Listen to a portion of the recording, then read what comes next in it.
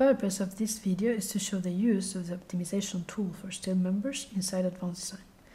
This single base steel framework is made of columns, rafters, purlins, girts, wind bracings, and pin supports.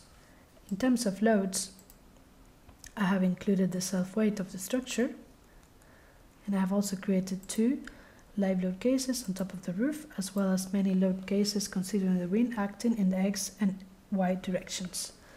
After creating some combinations, I can now perform the analysis including the FE calculation and the steel design calculation. The process takes up to one minute for this type of structure. When my results are available, I can post-process them using the FEM results ribbon.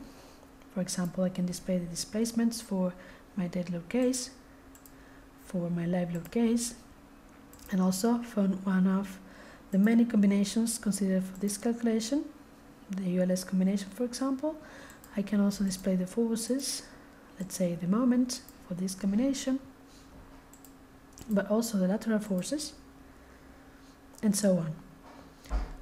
In the Steel Design Results ribbon, I can display the deflections, the maximum deflection for example, and also buckling lengths,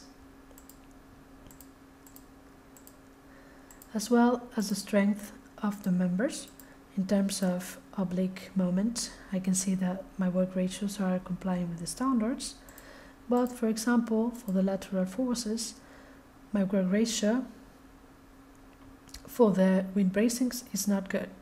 So I have to change the cross section of this member. I can use the steel um, suggested shapes here, the icon. I can see that the wind bracings are the only ones that are not complying with the standards.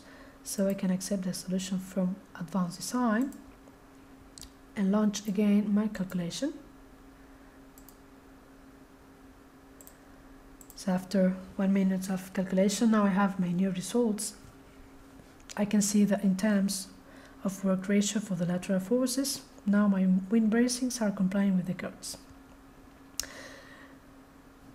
If I take a look again at the suggested shapes, I can see that Advance Design is not suggesting me any other modifications in terms of cross sections. So I can say that my model is now final.